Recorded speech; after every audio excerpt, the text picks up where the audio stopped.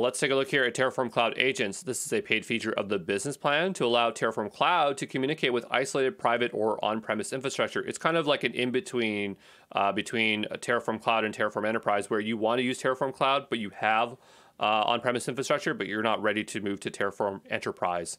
So this is useful for on-premise infrastructure types such as vSphere, Nutanix, and OpenStack. The agent architecture is pull-based, so there are no inbound connectivities required. Any agent you provision will pull Terraform Cloud for work and carry out execution of that work locally. Agents currently only support the x86 architecture or the x64-bit Linux operating system. Okay, so you can also run the agent within Docker using the official Terraform agent Docker container if you just prefer that over a VM. Agent supports Terraform versions 0.12 and above.